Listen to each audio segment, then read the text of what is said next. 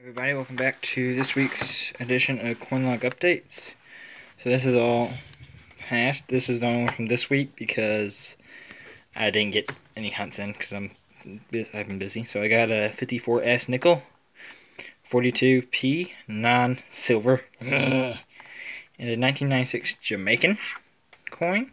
Five bucks. It's right here. It's pretty cool. This is, I mean, this is the largest denomination coin, so I hate to see the small stuff. But um, that's it. Um, I plan on seeing. I hope to see you guys at my live stream. I have a surprise giveaway that I think everyone will like. And uh, and remember, I stream at seven uh, seven Eastern, six Central.